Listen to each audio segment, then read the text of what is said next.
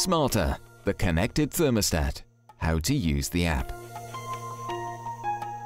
This is the home page of the app, where you can control basic thermostat functions. You can activate the boost function for 30, 60 or 90 minutes. There is a red bar displayed on the app, letting you know how much time is left of the boost, similar to the one that is on the Smarther unit. To cancel the boost, simply press the X. To set the temperature in manual mode, press the thermometer icon and choose the desired temperature. Using the app, it is also possible to choose how long to maintain the set temperature. As soon as the manual temperature mode is activated using the app, the hand icon will be illuminated, along with the flame icon if the boiler is on. To set a weekly program, swipe the screen from left to right or press the top left menu.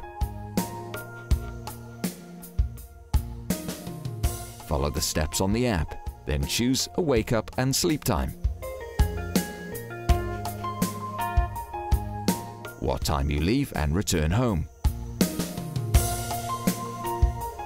And finally, what days you are or are not at home.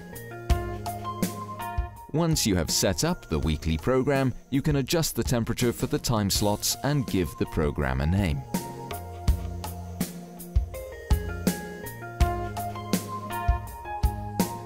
If multiple programs are created, you can select which one to activate by pressing it. To edit a particular day within the program, press the pencil icon.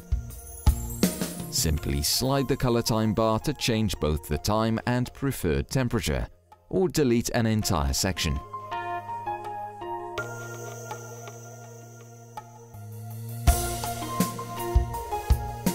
To set up other users on the same Smarther device, send an email invitation from the Users menu.